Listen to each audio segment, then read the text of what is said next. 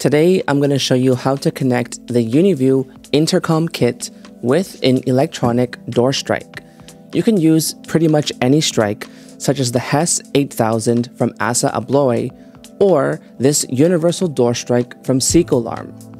The UniView intercom allows you to activate the strike in three different ways. First, you can use the indoor station to unlock the door by opening the camera in live view and pushing the unlock button. Similarly, you can use your phone to open the door remotely by pushing unlock in the UniView Link app while viewing the intercom in the live view. And lastly, you can use an NFC access card to unlock the door. You can add the credentials of the card in the web interface of the intercom, and then all you need to do is tap the card on the reader for it to unlock. So that's what the reader does, but how difficult is it to set up? Well, thankfully it's not too complicated. Let me show you how everything is wired together. In front of me, I have the intercom, an electric door strike, and a power supply for the door strike, as well as the cable harness for the intercom. So first, on the back of the intercom, you must connect the included cable harness and make sure that you install it with the clips facing to the right, like this. And if you accidentally install it the other way around, like this way, then the door strike will not activate. So please make sure that you install it with the clips facing towards the right. Now that we have the wiring harness connected, you want to find two wires. So we want to find the wire that's white with yellow stripes, as well as the one that's white with green stripes. So find these two wires and separate them out because this is what we're going to use with the door strike. And so this, this intercom can be powered um, using a PoE cable, like an ethernet cable. But if you don't have PoE, then you can also use the red and the black wire to power it. So if you're using uh, DC power for the intercom, make sure you separate out the red and the black wire as well. Now that we have everything separated out, we're ready to connect. So we're to take the positive wire of our power supply and connect it with the positive wire on our door strike, like this. Okay. Then we're to take the negative wire of the power supply and connect it to the yellow and white wire that we separated out earlier. So this yellow and white wire is called lock 1 common. And it's going to connect again to the negative of our power supply, just like this.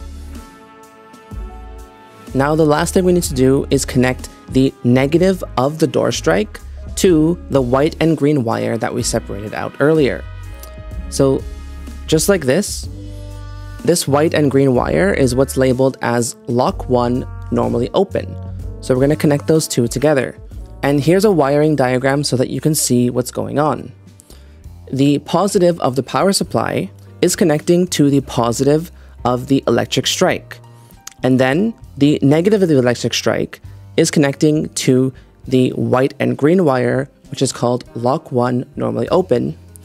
And then the white and yellow wire is connecting to the negative of the power supply, which completes the circuit and completes the loop. As a side note, if you want the door to unlock when the power goes out, then you will need to set the lock to NC, which is normally closed. Then, instead of connecting the door strike negative wire to lock 1 normally open as we've done right here, you would instead connect it to lock 1 normally closed, which is this pink wire right here. This will put the intercom into fail-safe mode, which means that the door will stay unlocked when the power goes out. Once you connect the negative door strike to lock 1 normally open, the wiring is complete and we have a circular loop going from the power supply to the door strike to the intercom and back to the power supply. When the unlock button is pressed, the intercom will bridge these two wires together, completing the circuit and opening the door strike. By default, the strike will open for 5 seconds. You can change this by logging into the web interface of the intercom and setting the door open duration. This setting can be found under Setup, System, Ports and Devices, and Door Configuration. You can also visit the I.O. input menu to configure a door magnet or a push button. The intercom can connect to two door magnets or two push buttons at the same time. By default, inputs 1 and 2 are configured as door magnets, while 3 and 4 are configured as push buttons, but you can easily change that from this menu. You can also set one of the inputs to fire alarm mode. Only one fire alarm is supported on the system, and when triggered, it will automatically open the door so that people can leave in the event of a fire.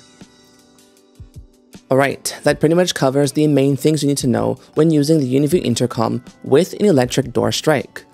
If you're interested in learning more, you can check out UniView's user manual. It's over 100 pages long and covers every single setting in more detail.